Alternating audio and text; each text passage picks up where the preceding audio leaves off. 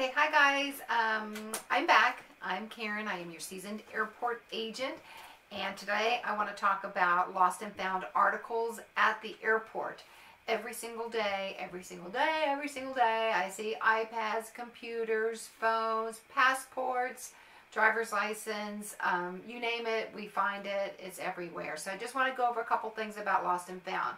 First, um, if you've lost something at an airport, Depends on where you lost it as to what department you're going to contact.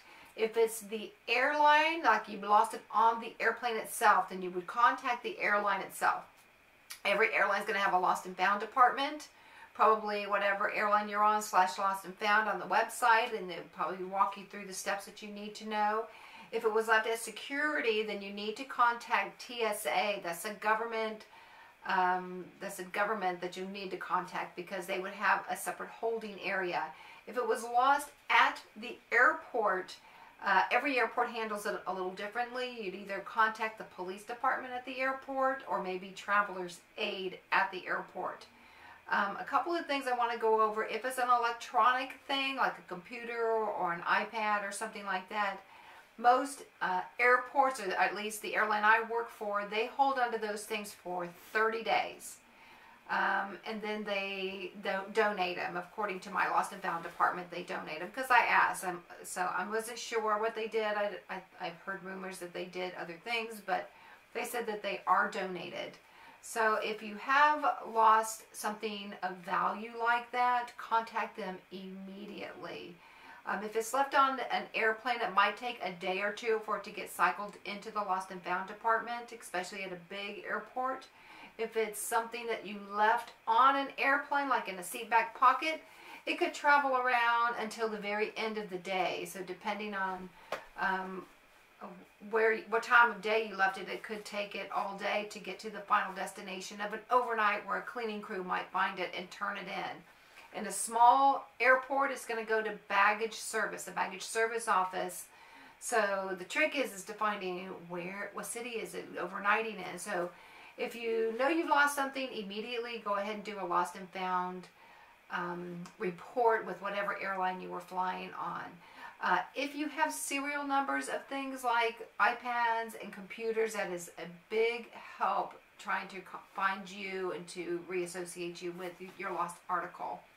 Also, guys, please, please put phone numbers on things. Put phone numbers in your passport.